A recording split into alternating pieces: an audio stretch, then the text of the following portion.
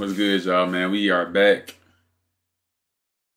with another video, man. How y'all doing feeling over today? Uh, so we got Pitbull bites and tears apart Maryland woman's Tesla.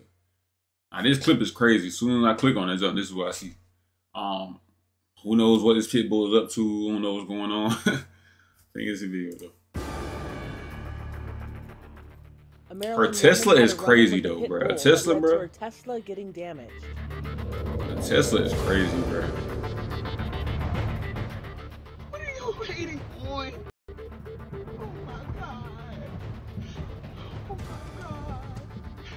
Oh my god. He is letting him do whatever he's doing to my tires. He's eating my car up. Why is he why is he doing that? In several TikTok videos, she showed the pit bull biting and tearing her vehicle while she and her dog were in it. What is he doing?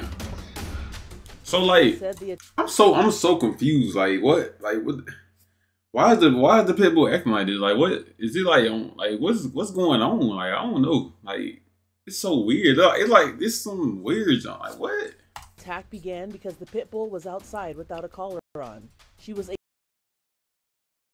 able to run to her car for safety, but did get bitten and scratched. No, the dog attacking me!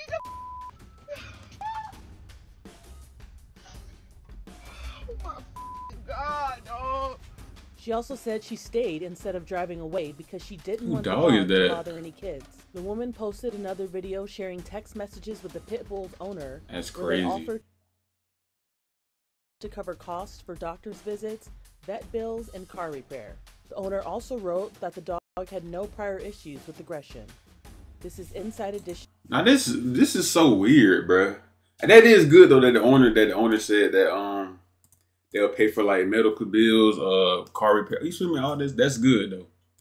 But why did the pit bull even act act in this way? Like that, this is so random. Like a pit bull biting a car, bro. Like where does this even happen at? I'm so lost, bro. But um, hope you got like video, man.